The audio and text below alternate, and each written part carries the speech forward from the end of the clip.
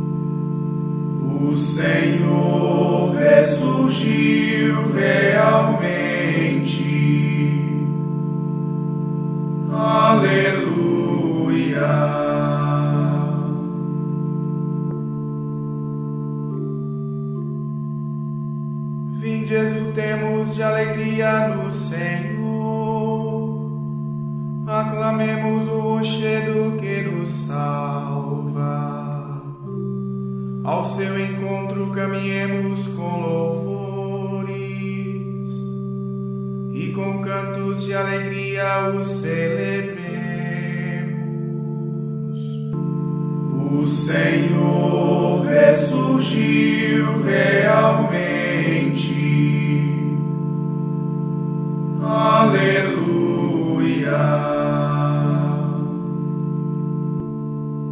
Na verdade, o Senhor é o grande Deus, o grande Rei muito maior que os deuses nas mãos as profundezas dos abismos e as alturas das montanhas lhe pertencem. O mar é dele, pois foi ele quem o fez, e a terra firme suas mãos a modelaram. O Senhor ressurgiu realmente. Aleluia. Vinde, adoremos e prostremos-nos por terra. E ajoelhemos ante o Deus que nos criou, porque Ele é nosso Deus, nosso pastor, e nós somos o seu povo e seu rebanho, ovelhas que conduz com sua mão. O Senhor ressurgiu realmente. Aleluia.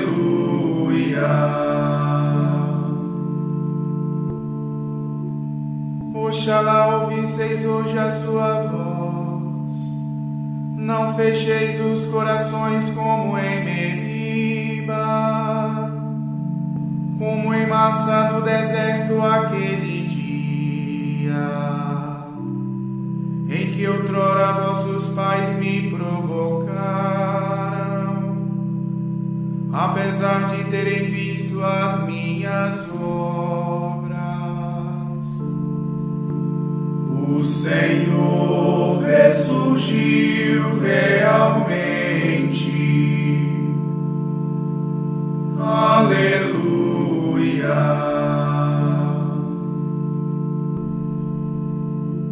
Quarenta anos desgostou-me aquela raça, e eu disse: Eis um povo transviado.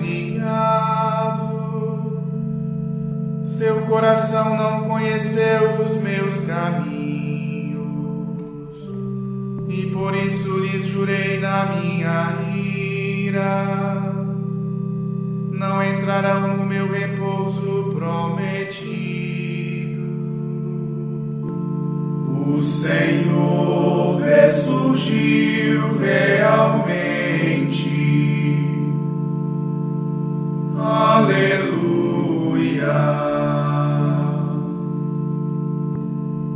Demos glória a Deus Pai onipotente e a seu Filho Jesus Cristo, Senhor nosso, e ao Espírito que habita em nosso peito, pelos séculos dos séculos. Amém. O Senhor ressurgiu realmente. Aleluia.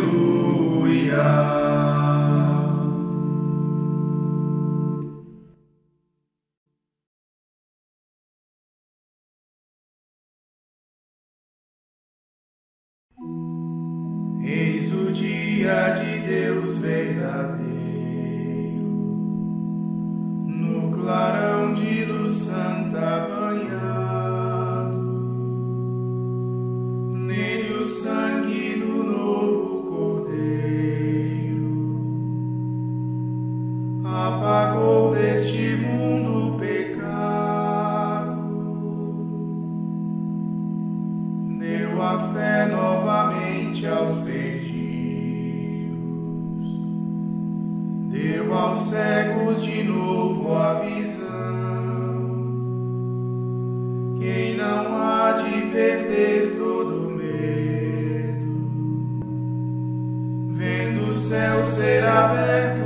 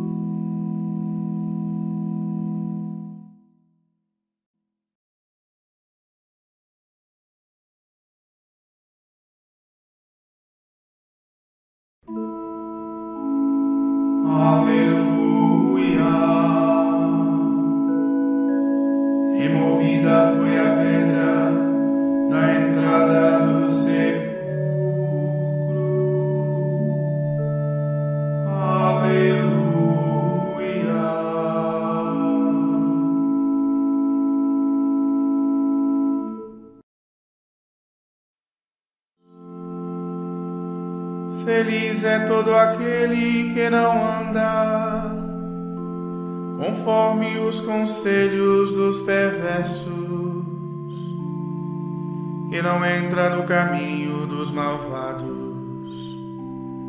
nem junto aos zombadores vai sentar-se, mas encontra seu prazer na lei de Deus e a medita dia e noite sem cessar.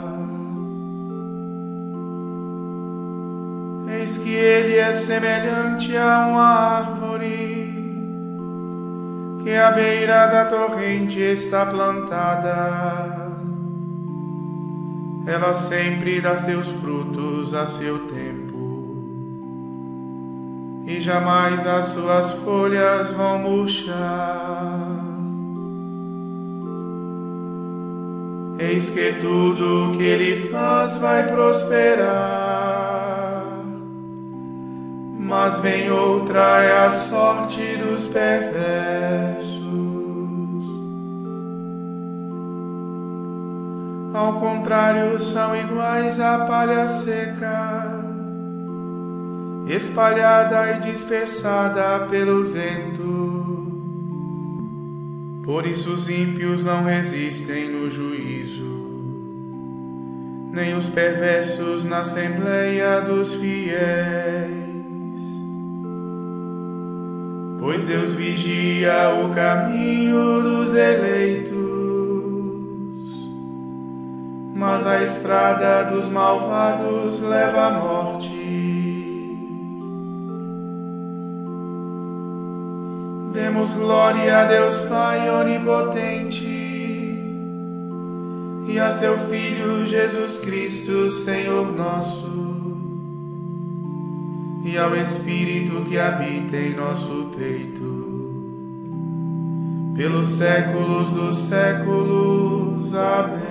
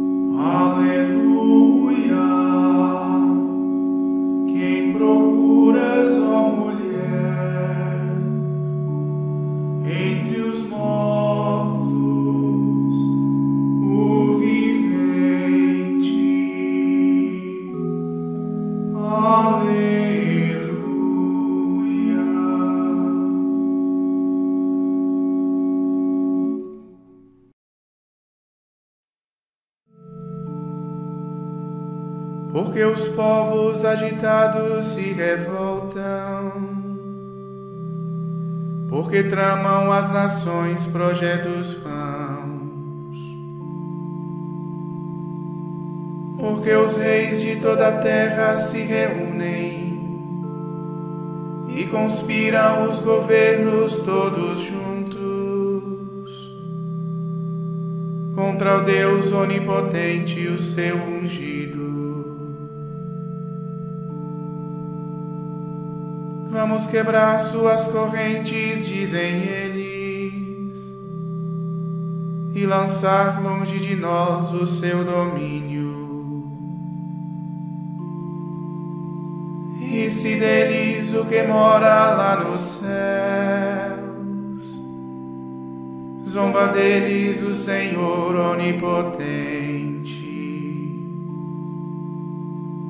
Ele então em sua ira os ameaça e em seu furor os faz tremer quando lhes diz: Fui eu mesmo que escolhi este meu rei, e em Sião meu monte santo consagrei. O decreto do Senhor promulgarei.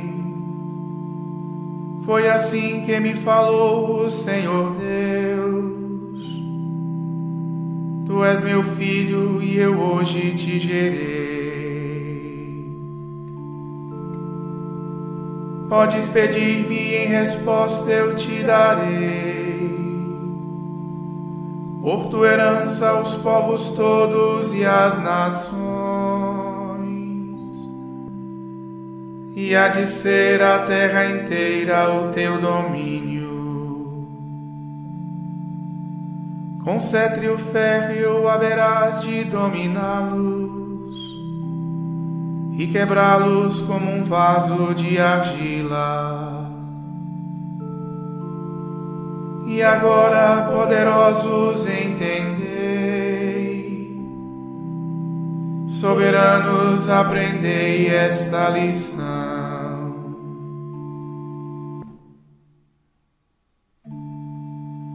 Com temor, servir a Deus, render-lhe glória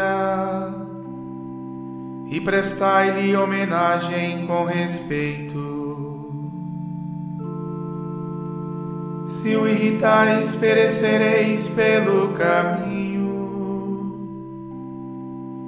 pois depressa se acende a sua ira. Felizes hão de ser todos aqueles que põe sua esperança no Senhor.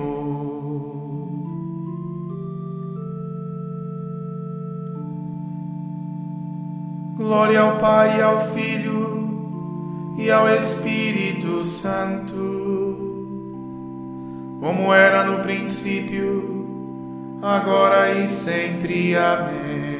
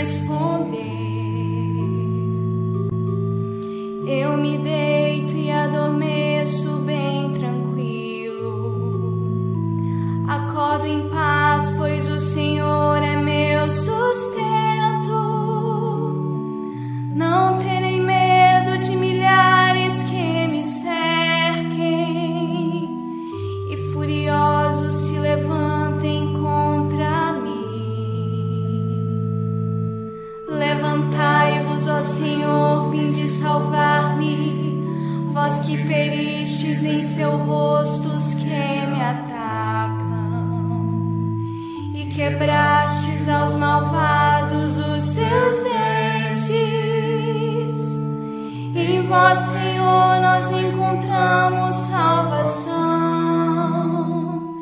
e repouse a vossa bênção sobre o povo.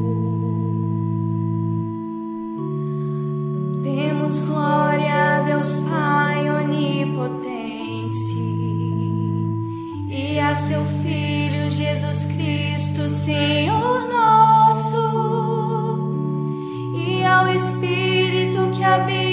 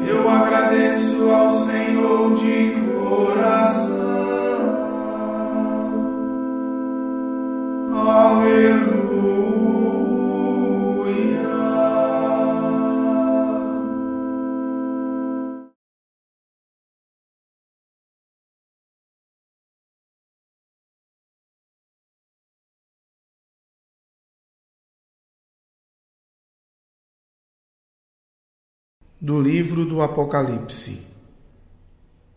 Um anjo poderoso levantou uma pedra do tamanho de uma grande pedra de moinho e atirou-a ao mar, dizendo: Com esta força será lançada Babilônia, a grande cidade, e nunca mais será encontrada.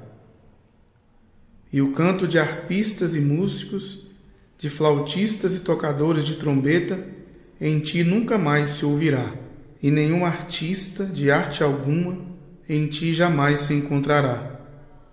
E o canto do moinho em ti nunca mais se ouvirá. E a luz da lâmpada em ti nunca mais brilhará.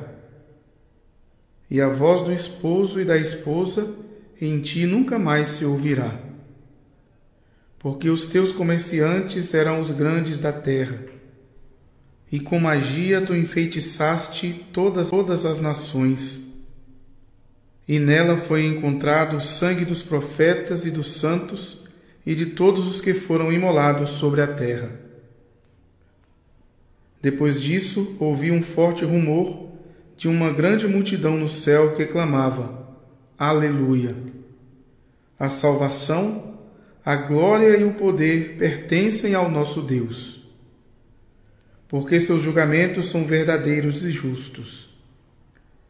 Sim, Deus julgou a grande prostituta que corrompeu a terra com sua prostituição e vingou nela o sangue dos seus servos. E repetiram: Aleluia! A fumaça dela fica subindo para toda a eternidade. E os vinte e quatro anciãos e os quatro seres vivos se prostraram diante de Deus que está sentado no trono e disseram: Amém, Aleluia. Então uma voz saiu do trono convidando: Louvai o nosso Deus, todos os seus servos e todos os que o temeis, pequenos e grandes. Ouvi também o rumor de uma grande multidão. Parecia o fragor de águas torrenciais e o ribombar de fortes trovões a multidão aclamava: Aleluia! O Senhor nosso Deus, o Todo-Poderoso, passou a reinar. Fiquemos alegres e contentes e demos glória a Deus, porque chegou o tempo das núpcias do Cordeiro. Sua esposa já se preparou. Foi-lhe dado vestir-se com linho brilhante e puro o linho significa as obras justas dos santos. E um anjo me disse: Escreve: Felizes são os convidados para o banquete das núpcias do Cordeiro. Disse ainda: Estas são as verdadeiras palavras de Deus. Eu prostrei-me diante dele para adorá-lo, mas o anjo me disse: Não faças isso. Eu sou um servo como tu e como os irmãos que guardam o testemunho de Jesus. A Deus é que deves adorar. O testemunho de Jesus é o espírito da profecia.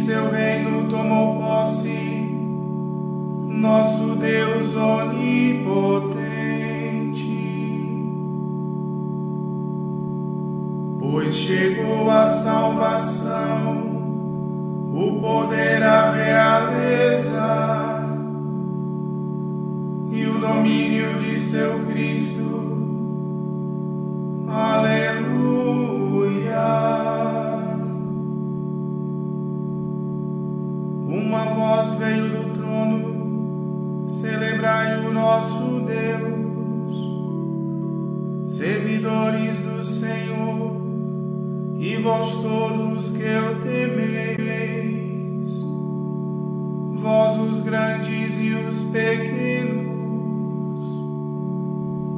pois chegou a salvação, o poder, a realeza e o domínio de seu Cristo. Aleluia.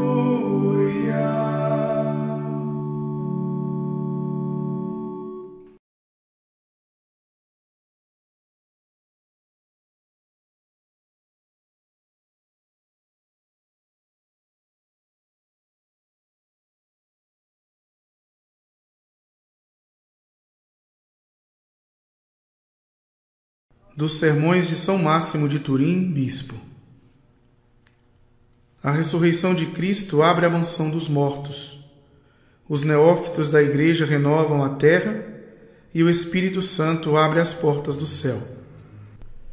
A mansão dos mortos aberta devolve seus habitantes, a terra renovada germina os ressuscitados, o céu reaberto recebe os que para ele sobem. O ladrão sobe ao paraíso, os corpos dos santos entram na Cidade Santa, os mortos retornam à região dos vivos. E, de certo modo, pela ressurreição de Cristo, todos os elementos são elevados a uma dignidade mais alta.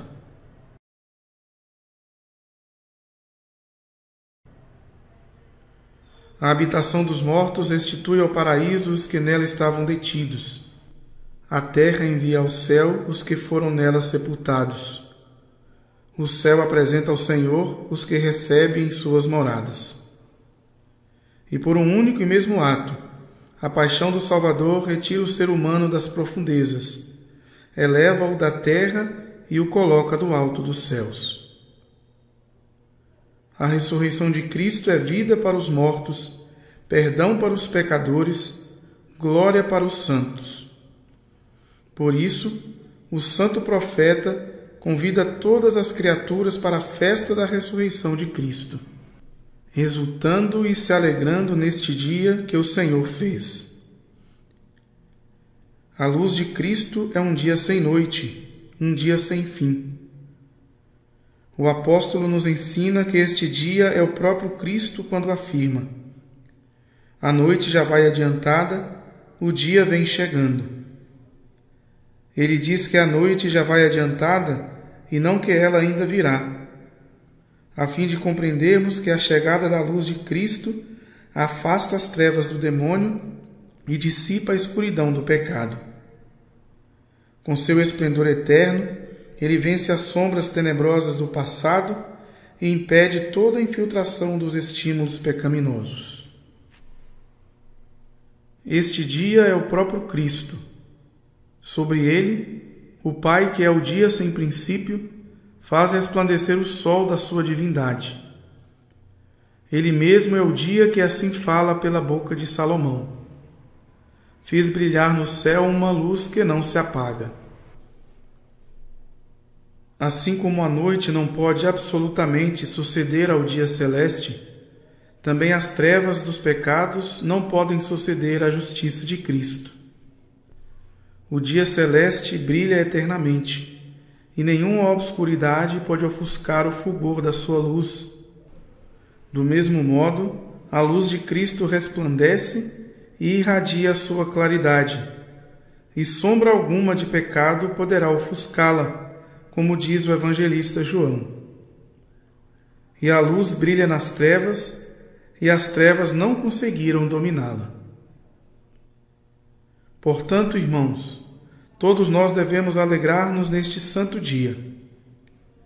Ninguém se exclua desta alegria universal, apesar da consciência de seus pecados. Ninguém se afaste das orações comuns, embora sinta o peso de suas culpas. Por mais pecador que seja, ninguém deve neste dia desesperar do perdão.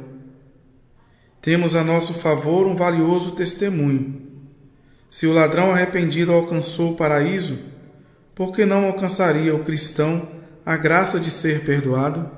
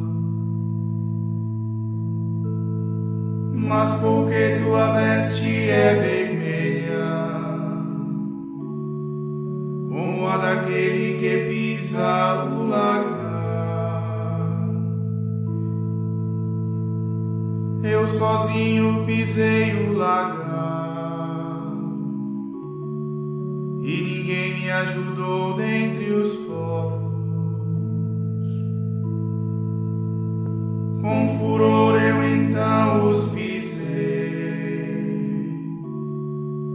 e a eles com ira esmaguei. salpicou-me seu sangue as vestes. O meu traje está todo manchado. Da vingança o dia eu queria. Redenção já chegou o meu tempo.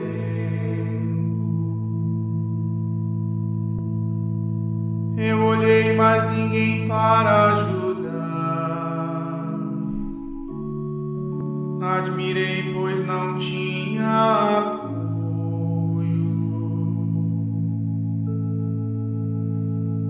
Então apelei ao meu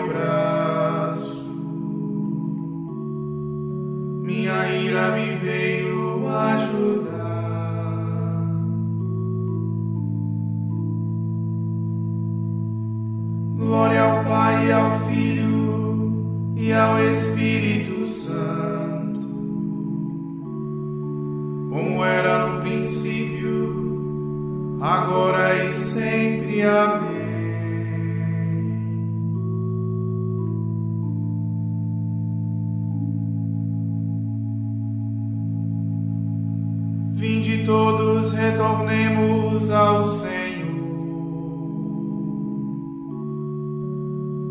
pois se ele nos feriu, nos curará.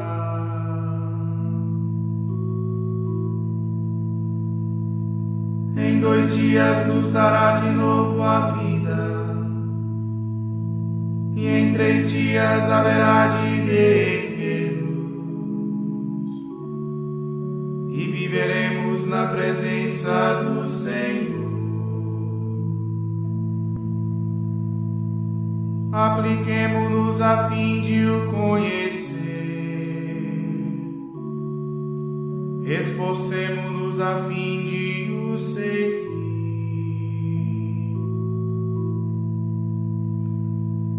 Tão certa como a aurora é sua vinda, como a chuva para nós ele virá.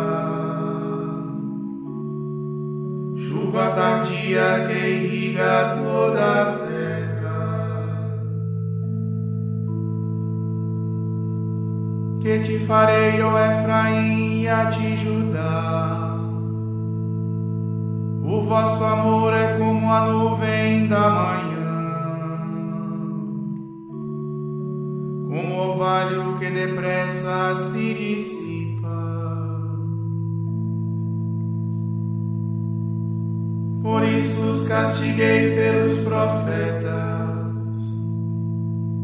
e os matei pelas palavras de minha boca. E meu juízo resplandece como a luz.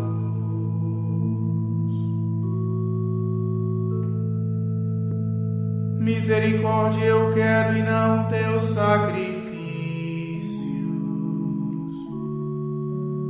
conhecimento do Senhor mais que holocaustos.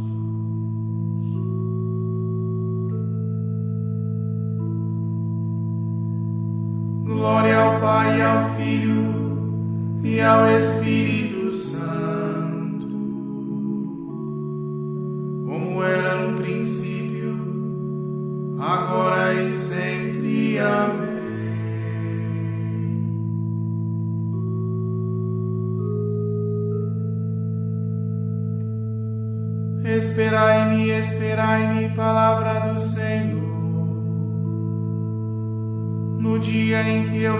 levantar para dar meu testemunho, porque minha decisão reunir nações e reinos, a fim de derramar sobre eles meu furo e toda a indignação da minha cólera inflamada,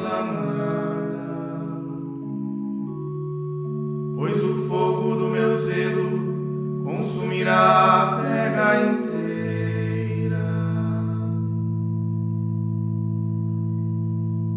Então eu haverei de dar aos povos lábios puros, para todos invocarem o nome do Senhor. e o servirem lado a lado com igual dedicação.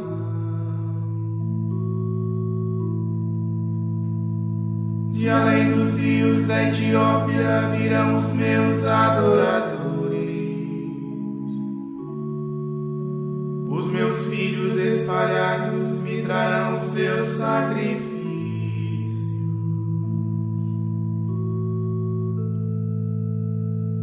Naquele dia não terás de envergonhar-te de tuas obras, dos pecados cometidos pelos quais tu me traíste.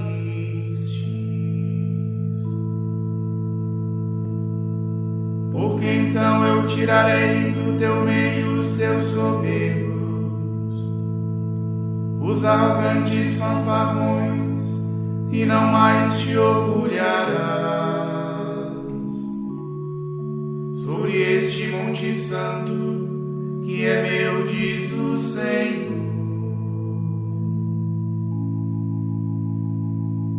Em teu meio deixarei um povo humilde e modesto, que porá sua esperança no nome do Senhor. o resto de Israel não fará mais injustiça, nem mentiras falará e não mais se haverá encontrar em sua boca uma língua enganadora.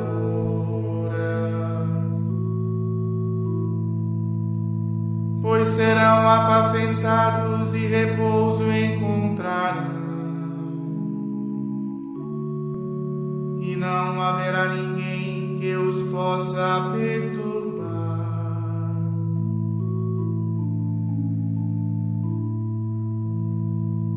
Glória ao Pai, ao Filho e ao Espírito Santo, como era no princípio, agora e sempre. Amém.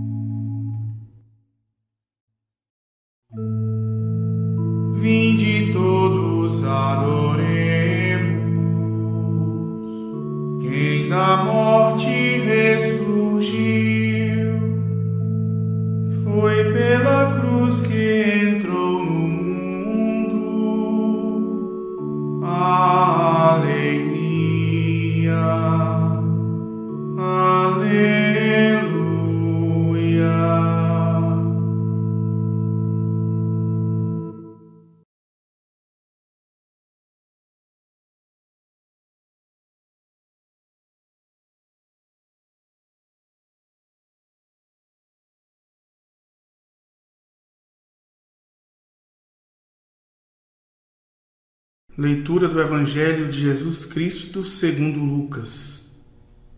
Naquele tempo, os discípulos contaram o que tinha acontecido no caminho e como tinham reconhecido Jesus ao partir do pão. Ainda estavam falando quando o próprio Jesus apareceu no meio deles e lhes disse: A paz esteja convosco. Eles ficaram assustados e cheios de medo pensando que estavam vendo um fantasma.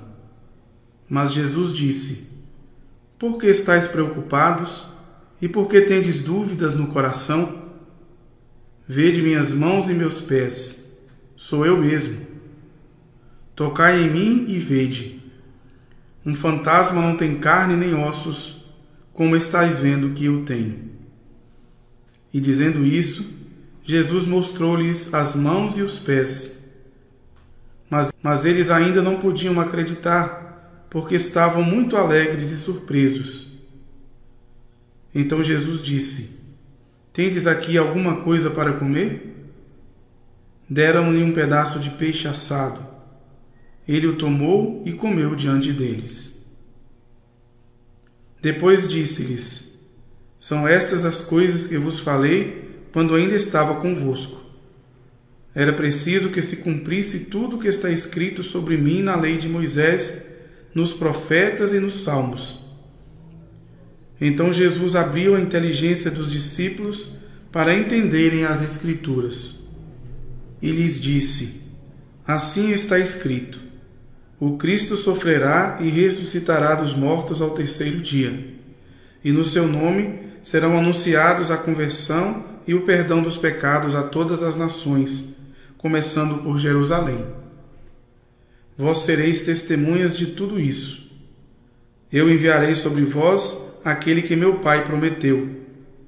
Por isso, permanecei na cidade até que sejais revestidos da força do alto. Então Jesus levou-os para fora até perto de Betânia. Ali ergueu as mãos e abençoou-os. Enquanto os abençoava, afastou-se deles e foi levado para o céu. Eles o adoraram. Em seguida voltaram para Jerusalém com grande alegria e estavam sempre no templo bendizendo a Deus.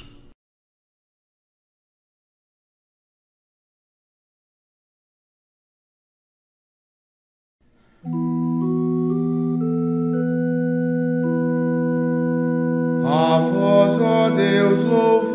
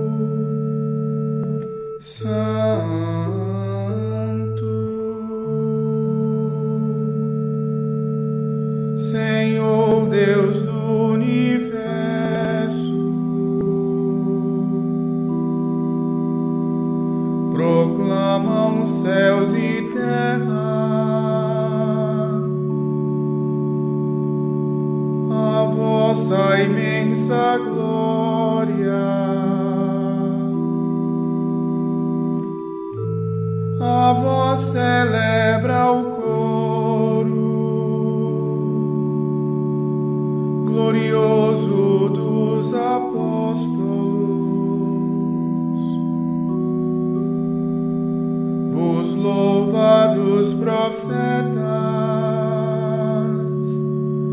a nobre multidão.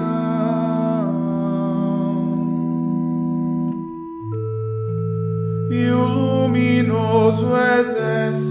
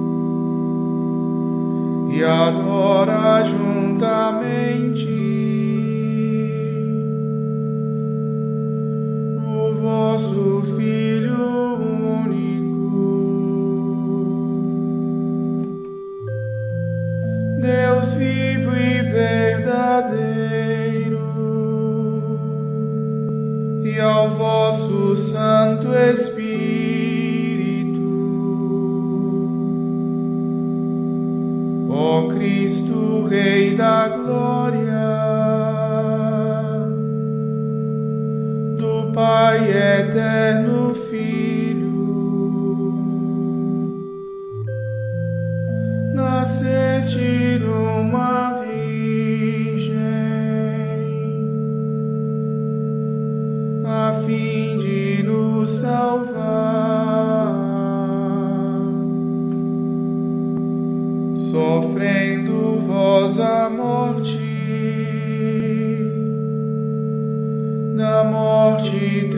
triunfastes, abrindo aos que têm fé do céu do reino eterno.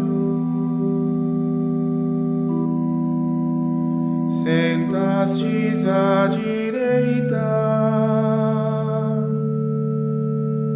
de Deus do Pai na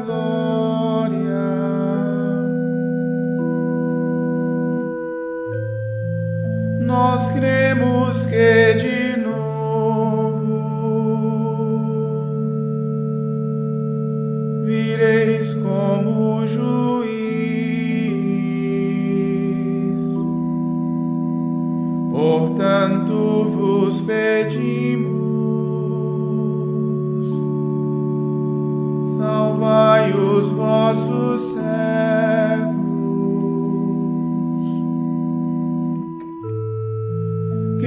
Que vós, Senhor,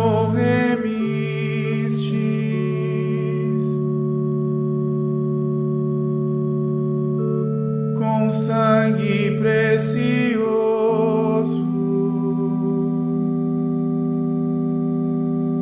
Fazei-nos ser contados,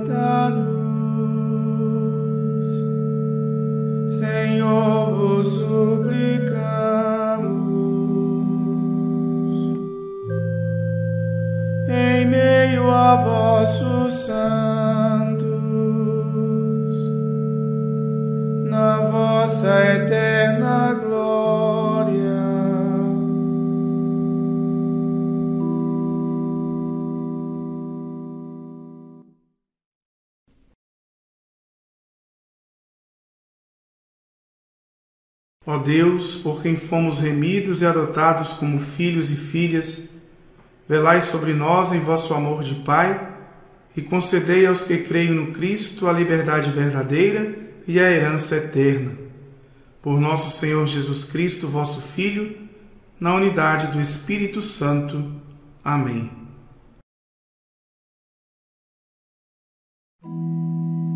Bendigamos ao Senhor.